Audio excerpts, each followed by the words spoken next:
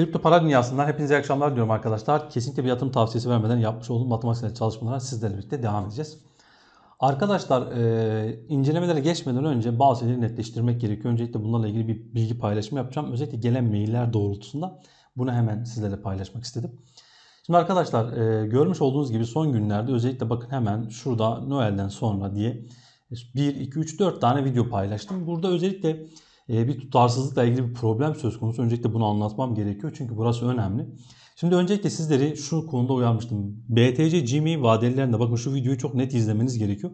Tehlikeli bazı şeyler ve tehlikeli bir kırılımdan bahsetmiştim. Eğer bu geçerli olursa ve bağımsız kapanışlar gelirse çok büyük çöküş görebiliriz demiştim. Bu birincisi. İkincisi dominans açısından çok önemli bir alan kırıldıktan sonra şöyle bir başlık attım orada. E, altcoin'lerde yükseliş Bitcoin bu sefer altcoin'leri seyredecek. Altcoin'lerde büyük bir hareketlilik gelebilir diye. Bakın bunlar olasılıktır. Bu bir. İkincisi o videoyu da çok net izlemeniz gerekiyor. Yani videoyu atlayarak izlerseniz bu piyasadan hiçbir şey elde edemezsiniz ya da benim dediklerimden hiçbir şey anlamazsınız. Zaten beni takip etmenizin de mantıksal hiçbir açıklaması olmaz. Bunun öncelikle net bilinmesi gerekiyor. Burada anlattığım şey neydi? Şu videoyu açın. Bakın kaç dakika arkadaşlar? 10 dakika. Zamanınızı ayırın bu piyasada iş yapıyorsanız. izleyin. Orada neyi söylüyorum? Eğer BTC 45 bin bölgesini aşağı kırarsa bu söylediklerimizin hiçbirinin bir anlamı kalmaz. Yani Beni yıllardır takip edenler şunu çok iyi bilirler ki bu piyasada benim veya bir başkasının beklentisinin değil gerçek manada realitelerin önemi olduğunu her zaman söylerim. Bu birincisi. Ve şunu unutmamak gerekiyor. Piyasada beklentileriniz ne olursa olsun altcoin'ler açısından. Dünyanın en büyük boğasını da bekleseniz, her şeyi de bekleseniz BTC'nin yapacağı bir hareket tekniksel veriler açısından da, temel analiz açısından da her şeyi sadece bir dakikada yok edebilir. Bu bu piyasanın bir gerçekliği. Bunu ben veya siz veya bir başkası değiştiremez. Eğer bu piyasada balina değilseniz, bu piyasada büyük sermayeyi elinizde bulunduramıyorsanız sadece o sermayeyi elinde bulunduran insanların arkalarından bıraktıkları izleri takip ederek işlem açmaya çalışırsınız. Bizim yaptığımız sadece budur. Bu yüzden bunu da ben tekniksel analizle yaparım. Öncelikle bunların çok net bilinmesi gerekiyor. Ve burada da geliyor gelmekte olan da ya hocam işte o videoda bizi sen hiç uyarmadın. Yani nasıl uyarmadın? Bakın şimdi videoyu sizlere açacağım. Şuradan beraber dinleyelim. Gerçekten uyarmış mıyım, uyarmamış mıyım? Diğer videolarda söylediğim gibi mutlaka dinleyin arkadaşlar. Videoları yarım yamalak izleyerek kesinlikle hiçbir şey elde edemezsiniz. Bu yüzden de takip etmenize gerek yok. Hemen takipten çıkabilirsiniz. E, çünkü ben burada bu e, platformda hiçbir zaman takipçi kasmak için uğraşmadım. Öyle bir derdim de yok zaten. Faydalanan insan izler, faydalanamayan insanlar için de yapılabilecek çok fazla bir şey yok maalesef. Bakın arkadaşlar bir şey anlatıyorum bakın. Şimdi bunları inceledikten sonra Bitcoin'e geleceğim. BTC'de arkadaşlar bakın önemli bir detay var. Benim için işte bu yüzden özellikle bu geceye dikkat etmemiz gerektiğiyle ilgili bir başlık paylaştım. Şimdi neden derseniz şimdi biraz geçmişe gidip orada biraz bazı şeyleri size göstermek istiyorum. Şimdi arkadaşlar bakın dün itibariyle şu alana bir destek açılmıştı. Bu destek bölgesi neresiydi? 46-200 bölgesi. Bakın daha önce günlükte bu bölgeye destek açıldı, şu bölgeye destek açıldı ama dün bu bölge kırıldı. Bugün retest günü olduğu için altcoin'lerde ekstra hareketler görüyoruz. Bu tehlikeli bir kırılımdır. Öncelikle bunun net bilinmesi gerekiyor. Bu geceki kapanış çok önemlidir. Eğer geceki kapanış alan üzerinde olamazsa bu bir retest olarak kalırsa akabinde çöküş gelebilir. Bakın bu çok önemli bir detaydır. Bu yüzden altcoin'lerde işlem açıyorken stopsuz asla işlem açmayın. Bakın arkadaşlar orada çok net belirtmişim zaten her şeyi. Ne demişim? Zaten burada bir kırılım olduğunu bakın destek bölgesi zaten burası vermişim. İşte bu kırılımdan sonra bu retest olarak kalsa bir çöküş gelebileceğiyle ilgili bilgiler paylaşmışım. Ve söylemiş olduğum bilgiler zaten çok ama çok net bilgiler. Bu yüzden bu piyasa şartlarında piyasayı inceliyorsanız arkadaşlar bilinmesi gereken önemli şeyleri bilmek zorundasınız. Piyasada tekrar söylüyorum beklentileriniz ne olursa olsun. Bakın tekrar söylüyorum beklentileriniz ne olursa olsun Burada sadece realiteler geçerlidir ve bu görmüş olduğumuz bütün olaylar sadece bir saat içerisinde BTC hareketiyle değişebilir. BTC gece öyle bir kırılım yapmış ve ben de sizi bu konuda net bir şekilde uyarmışım. Yani daha ne istiyorsunuz anlamıyorum ki. Bu çok net bir durum. Tabii ki tekrar söylüyorum yani istediğiniz gibi eleştirebilirsiniz. Yani e, hakaret boyutuna gelmediği sürece tabii ki istediğiniz gibi eleştirebilirsiniz. Bunlar gayet doğal. Orada o yüzden Gmail var. İşte yorumları niye açmıyorsunuz diye. İşte yorumları böyle gel zaman açmayacağım. Ben zaten daha 5000 takipçim varken burada paylaşmıştım arkadaşlar. Tekrar söylüyorum yani eğer istemiyorsanız zaten takip etmezsiniz. Şimdi buradan BTC'ye gelirken arkadaşlar net bilinmesi gereken bazı şeyler var. Bunların iyi bilinmesi gerekiyor. Şimdi BTC'de Sizleri uyarmış olduğum bölgede kırılım geldikten sonra obo formasyonunda da çok net bir kırılım var. Bakın yani saatliklerdeki kırılımdan sonra bugün gündüz bunu tekrar net anlatmıştım. Günlükte de bir kırılım söz konusu. Burada dikkat edilmesi gereken önemli şeylerden birisi. Bakın şimdi burada sizlere bir olay anlatacağım. Daha iyi anlaşılması için artık galiba böyle olmak gerekiyor. Şimdi bir tobo formasyonundan bahsedelim. Özellikle özellikle daha çok kullanıldığı için. Hemen ondan şuradan net bir tobo formasyonu çizelim. Bu neydi arkadaşlar? Bir trend dönüşüm formasyonu. Omuz baş omuz formasyonu. Yani biraz önce şurada görmüş olduğum size anlatmaya çalıştığım tobonun tam tersi obo formasyonu. Yani bu da bir trend dönüşüm formasyonudur. Yukarılarda geldiği zaman obolar tehlikelidir. Fiyat aşağı gideceğiyle ilgili de aşağılarda da trend dönüşüm açısından önemlidir. Yukarı yönlü bir hareketin gelmesi açısından. Şimdi tobolar kırıldıktan sonra genellikle nasıl hareketler başlar? Bakın arkadaşlar önce kırılım gelir. Klasik hareketlerden bahsedeceğim öncelikle. Geldikten sonra retest yapar bir miktar belki aşağı iğneleme gelebilir ama gövde alan üzerinde olur. Kademeli bir şekilde sonra çok sert yükselişler. Öncelikle şu dip ve tepe bölgesi kadar bir yükseliş bölgesi hedeftir.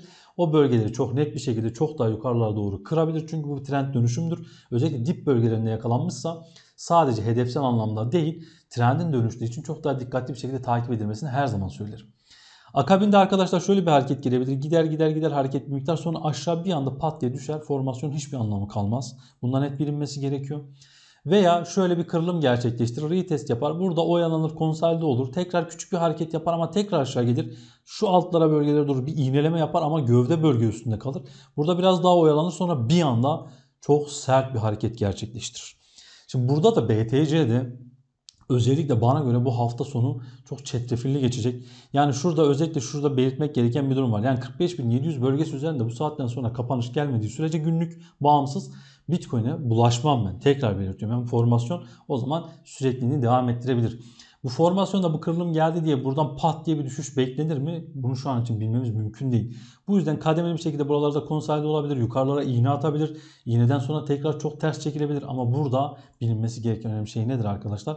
Bakın burada tekrardan bunu belirteyim. Şunu da hemen kaldırayım. Burada turuncu olarak göstermiş olduğum alan. Bakın 1, 2, 3, 4, 5 tane ok var burada. Bana göre bu formasyondan sonra illa ki bir çöküş gelecekse öncelikle bu alanın boşaltılması gerekir. Bakın bu nettir. Bu yüzden benim için de önemlidir. Şu turuncu çizgiyi de hemen kaldırayım. Bu özellikle iğnelemeden sonra bir hareket gelirse oralara kadar gelebilir diye paylaşmış olduğum bölgeydi. Normal bir destek veya direnç bölgesi değil.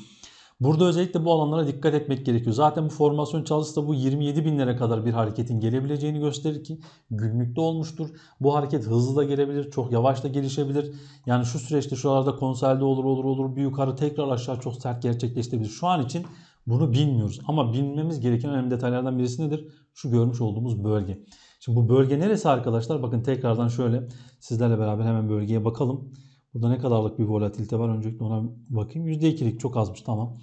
Şurada özellikle bölge neresi arkadaşlar? 40.000 psikolojik bölgesi ile 41.300 bölgesi. Yani bize neyi gösteriyor? 40.000 psikolojik bölgesi kırıldığı an ve retest yapılmışsa akabindeki hareketliliğe işte o zaman gerçekten çok daha büyük çöküşler bizleri bekleyebilir. Bunun için öncelikle 2 saatlikler, 4 saatler hepsinin takip edilmesi gerekir. Çünkü bir düşüş döneminde kısa zaman aralıklar da çok önemlidir. Bunlar da net bilinmesi gerekiyor.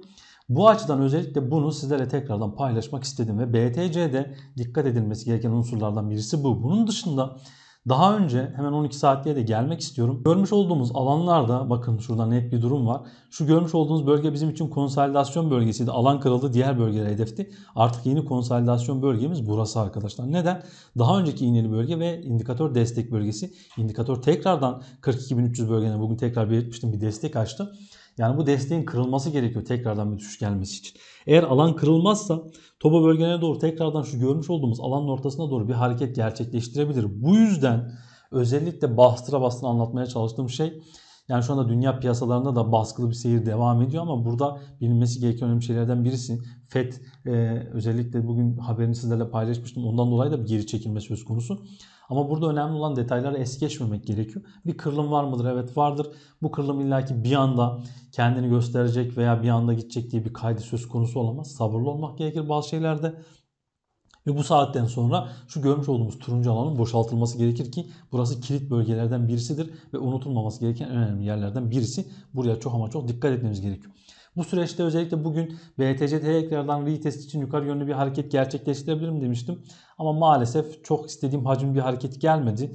E ama Mana'da diğer coinlerde bir hareketlilik geldi. Mana'daki hareketliliğin en büyük sebeplerinden birisi de arkadaşlar burada Samsung'un Decentraland yani Mana ile mağaza açacağı haberi geldi ki bu önemliydi. Ve Metaverse coinleri önümüzdeki yılın bana göre en önemli projeleri ve en önemli hareket kabiliyetine sahip coinler olacak. Bu sadece Mana zaten geçmişten bugüne büyük hareket gerçekleştirdi. Özellikle Metaverse coinlerinden piyasaya özellikle yeni yeni hakim olmaya çalışan e, içlerinden seçilebilecek coinlere çok dikkat etmek gerekiyor bence. Bu açıdan da değerli. Şimdi burada zaten gelişen haber neticesinde Metaverse coinlerinde bir hareketlilik oldu. İşte Sand'da oldu, Engine'de bir miktar oldu, Mana'da oldu. İşte Gala'da bir miktar daha sert hareket gelmişti. Ama tekrardan bir durulma söz konusu. Burada BTC'nin ve dominansının büyük etkisi var. BTC düşerken şu an için bakın dominans tekrardan aşağı yönlü geliyor. Çünkü sarı alanı kırmıştı. iğnelemelerle yukarı gidiyor ama geçemiyor maalesef. 40-22 bölgesi çok önemli hala bir direnç. Burada bize neyi sağlıyor? BTC düştüğü zaman altcoin'lerde çok daha bazılarında özellikle son dönemde fazla yükselmemiş olan coin'lerde çok büyük ezilmeler görmüyoruz. Bizler için en önemli olan detaylardan birisi bu. Çünkü BTC en son yapmış olduğu hareketliklerden sonra çok daha büyük ezilmeler görebilirdik. Dominans bir miktar yukarı gitmişti ama şu an için belli oranlarda hala e, bir düşüş eğilimi gösteriyor. Ama tabii ki şu alan gerçekten önemli 42-20 bölgesi. Bu alana çok dikkat etmemiz gerekiyor. Günlükte de zaten daha önce şu görmüş olduğumuz alanda bir kırmızı çizgi vardı ki şu an şu iki mumun arkasında olduğu için görmüyoruz. Bu alan kırıldı retestten sonra önemli bir e, bölge için bir geri çekilme olabileceğinden bahsetmiştim ki özellikle altcoin'lere o yüzden dikkat edin demiştim.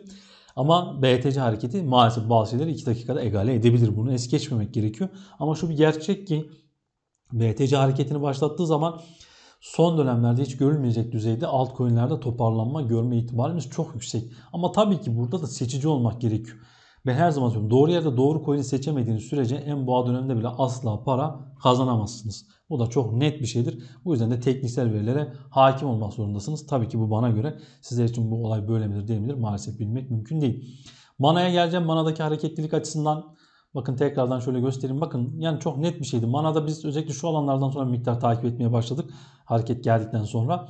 Ve şurada destek bölgesi yine mükemmel çalıştı. Burada tekrardan katıldaki arkadaşları uyardım ve geri çekilme yaşandı ki şu görmüş olduğumuz bölgede zaten çok net bir uyarda bulmuştum ki indikatör burada gerçekten tekrardan gayet mükemmel bir şekilde çalıştı ki %6'lık bir düşüşü de o bölgelerden yakalamış olduk tekrardan. Ve burada manada özellikle takip edilecekse şu görmüş olduğumuz 3.37-3.38 bölgesine dikkat etmeniz gerekiyor. Engine açısından da baktığımız zaman 2.57-2.54 bölgesinin önemli destek olduğunu görüyoruz. 4 saatliğe geldiğim zaman alan üzerine doğru hareketlilik gelse bile alan üzerine hala geçememiş gel gitler yaşanıyor. Burada BTC hareketinin belirleyici unsur olduğunu asla unutmamamız gerekiyor. Bu çok net bir durum. Ee, onun dışında arkadaşlar hemen Gala'yı sizlerle paylaşayım. Çünkü sorulmuştu. Bu yüzden de sizlerle paylaşmak istedim. Hemen Gala'ya gelelim oradan. Bakın Gala arkadaşlar. Galada da bir hareketlilik geldi ama akabinde tekrardan bakın onda da bir destek bölgesi açılmış ve akabinde tekrardan bir geri çekilme yaşandı. İşte Sand'da da ona benzer bir hareketlilik yaşandı. Alana geldi tekrar destek sonrasında geri çekilme. Yani burada şu an için BTC'nin kararsız olduğu bir dönemde belli oranlarda küçük karlılıklar bile yakalasanız hemen işlemlerde belli oranlarda kar realizasyonları yapmak şart. Eğer yakalayabildiyseniz tabii ki bu hareketlikleri. Eğer yakalayamıyorsanız da bana göre bu dönemde piyasaya çok fazla bulaşmanın mantıksal çok fazla bir açıklaması olduğunu düşünmüyorum ben. Önemli olan BTC hareketinin ne yapabileceği ile ilgili genel bir bilgi, e, genel bir yön tayini olması ve akabinde zaten altcoin'lerde doğru coin'i seçtiğiniz sürece her zaman piyasada para kazanılabilir. Bugünlük sizlere anlatacaklarım bu kadar arkadaşlar. Hepinizi çok seviyor, saygılar sunuyorum.